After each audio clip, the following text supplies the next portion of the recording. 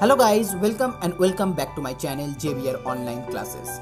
Like, share and subscribe my channel. So hello everyone, this is the third part from the exercise 7.1. For the previous one, please check the description box, the link will be there. And here in this video, I'm going to start from sum number 21. Increase a price of rupees 200 by 10% and then decrease the new price by 10%. Is the final price same as the original one?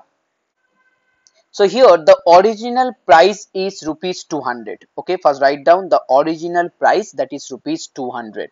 Now first you have to increase it by 10%. So here the next price will be the next price will be 200 and here increased by 10 percent that means 110 by 100 so that one equal to 220 okay? After that decrease it by 10 percent again. So therefore the last price equal to 220 and decrease. Decrease means 100 minus 19 that means 90 so yeah 0 0 cancel out. So this one equal to 9 to say 18 and 198 okay so that means original price equal to 200 and here the last or final price equal to 198 so the final price and the original price are not same. Now next one num number 22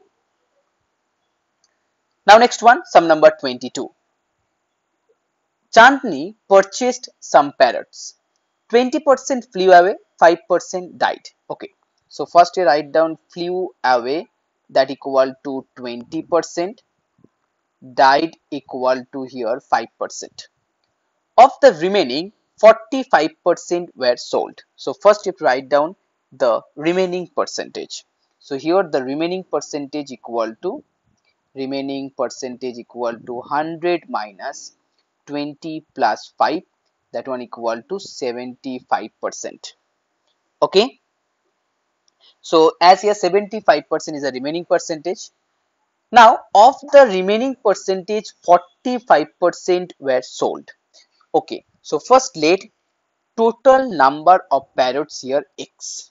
Okay so that means here remaining so remaining number of parrots that one equal to x into 75 by 100 okay that means 75x by 100 so now as here 45 percent were sold that means you can write down number of sold parrots that one equal to 75 x by 100 into 45 by 100 clear?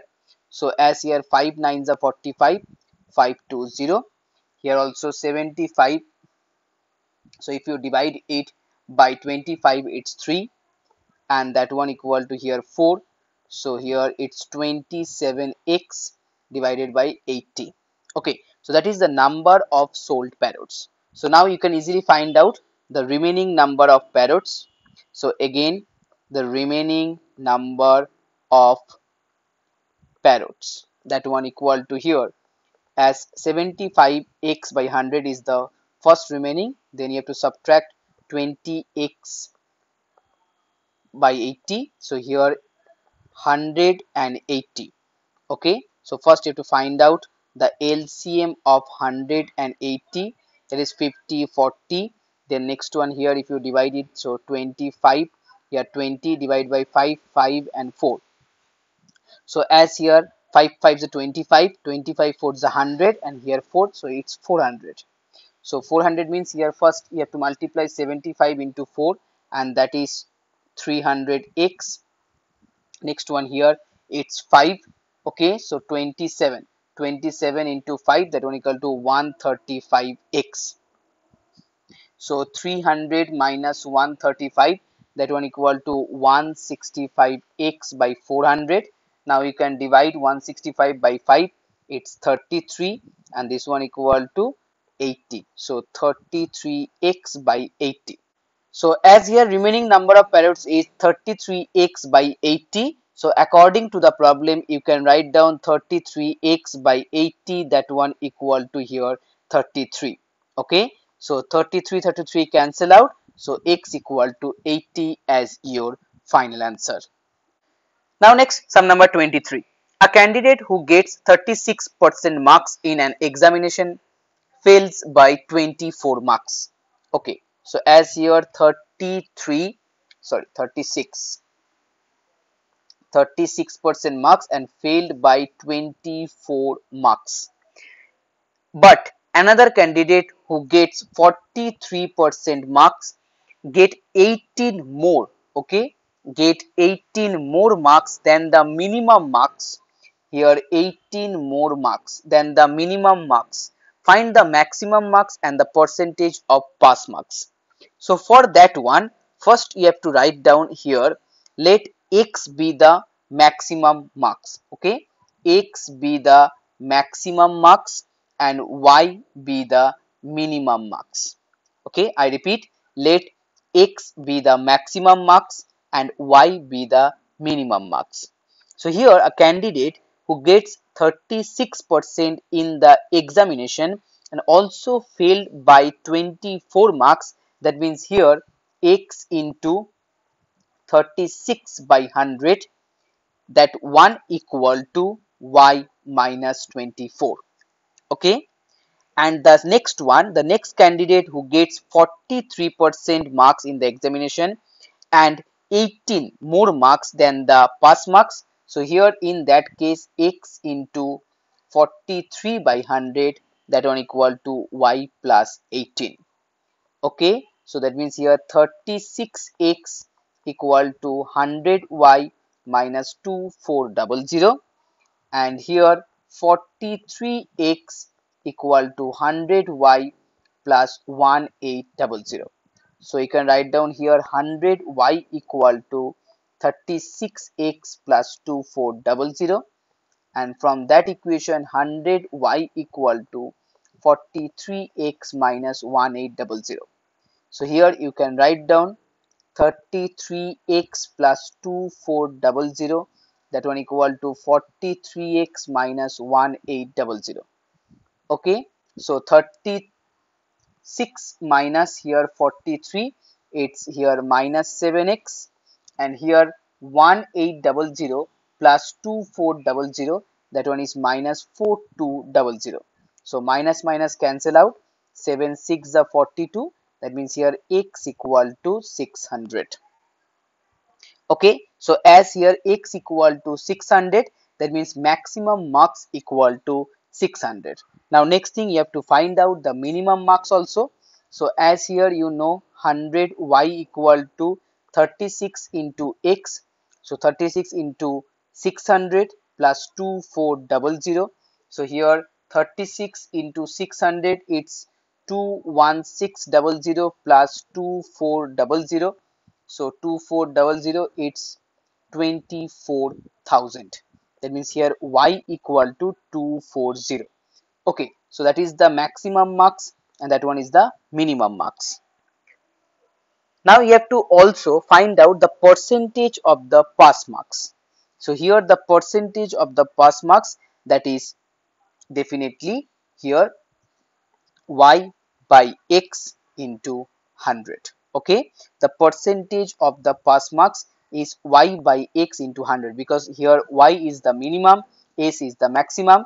So here you can write down 240 by 600 by 600 into 100 so here 1 0 will be cancelled not the 2 1 okay here 0 0 cancel out. So it's 40 that means 40 percent. Okay so maximum marks equal to 600 and percentage of the pass marks that is 40 percent. Now the next one sum number 24 the sides of an rectangle are 20 centimeter and 15 centimeter. So length equal to 20 centimeter breadth equal to here 15 centimeter if each side increase by 20 percent find the percentage increase in the area so here area equal to 20 into 15 that means 300 meter square. Now the new length here capital L as 20% increase. So 120 by 100, then 0, 0 cancel out, that is 24. New breadth capital B, 15 into 120 by 100. So 0, 0 cancel out, here 5 3s are 15, 5 2, and then it's 6, so that equal to 18. So here the new area that is A1, suppose. So here 24 into 18, that is 432 meter square. Okay, so here percentage of area that means increase percentage of area here 432 minus 300 divided by 300 into 100 so here 0 0 cancel out. Now 432 432 minus here 300 you can write down this one as 132 okay? So 132 by 3 and then divide uh, it's 44 okay? So 132 by 3 that equal to 44 percent. So 44 percent is your final answer. Now the last one sum number 25 so guys if you like my video please please share this video and please subscribe my channel so here in 25 imran gives 1 percent of his monthly income to his two sons as pocket money okay the elder son get 80 percent of the total amount given and he spent 80% of his share. If he saves rupees 60 per month, determine Imran monthly income. So here first let the total amount of monthly income that equal to rupees x. And as here Imran gives 1% of his monthly income to his two sons. So here 1% of rupees x that one equal to x by 100 clear? Now here the elder son gets. So here the amount of elder son. Elder son get 80 percent of the total amount so 80 percent of that one x by 100 so you can write down this one as x by 100 into 80 by 100 okay? And he spent 80 percent of his share. So first you find out the share. So here 0 0 cancel out. Then it will be here 8x by 1000 now as he spent 80 percent so spend so spend amount that one equal to 8x by 1000 into here 80 percent so again 0 0 cancel out and that one equal to 64x by here 10000 okay so that means here remaining amount so remaining amount equal to 8x by 1000 minus here 64x by 10,000. So here LCM equal to here 10,000. So that one equal to here 80x minus 64x.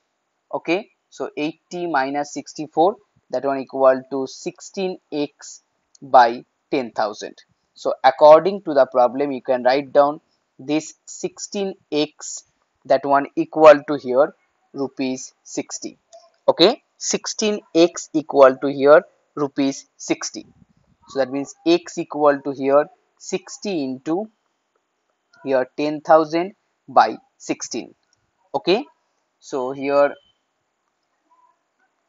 if you divide 16 with 10,000 it becomes 625 and then here multiply with 60 and that one equal to here 37,500 so 37,500 is your final answer.